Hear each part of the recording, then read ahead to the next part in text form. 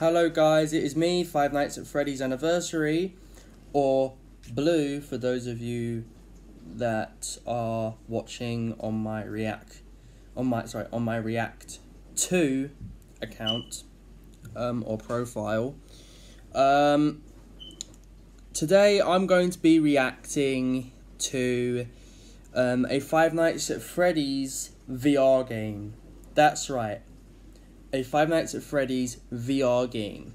Now, this is just like the trailer, so it's basically the the Five Nights at Freddy's game is called Help Wanted. It's a VR game, of course. I just said that it was a VR game, and um, so Scott Cawthon has been um, teaming up. Well, not teaming up, but has been with PlayStation um, and Scott Cawthon has um, basically, I guess you could say, um, I don't know. So, PlayStation has worked with Scott Cawthon, of course.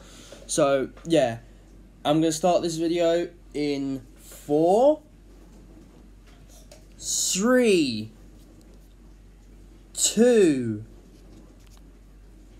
one, zero. Let's go. Oh yes, and before before I before before I start the trailer, if you guys want to see this trailer for yourselves, the link will be down in the description down below. It will be in the description down below. Okay, let's go. Okay, PlayStation VR. Uh, monitors. Looks good still.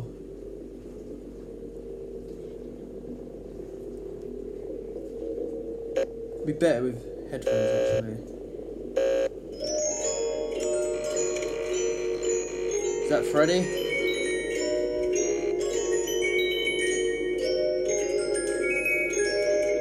He's not going to turn to the camera, is he?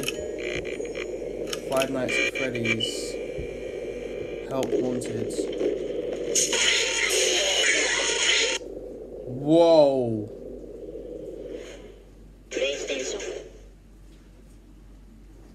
This game is gonna be sick when it comes out. Like, this is gonna be a cool game when it comes out, you know. Wait, would Help Wanted like um be like in an alternate universe or would it be in the same universe as Five Nights at Freddy's? One, two, three, and four, and five, and six. I'm not quite sure, but the man that basically would have these answers is called Scott Cawthon. So, who knows? He could set it in an alternate universe, or it could be set in the book universe or it can just solve law and stuff, whatever the case is. but yeah. So, if you guys haven't played Five Nights at Freddy's, it's basically an indie horror game. The creator is Scott Cawthon, who basically created the Five Nights Five Nights at Freddy's franchise, and um, yeah, and also, Five Nights at Freddy's is going to be getting a movie, which I'm pretty um, not surprised about because, um, you know, details. Um, also, is that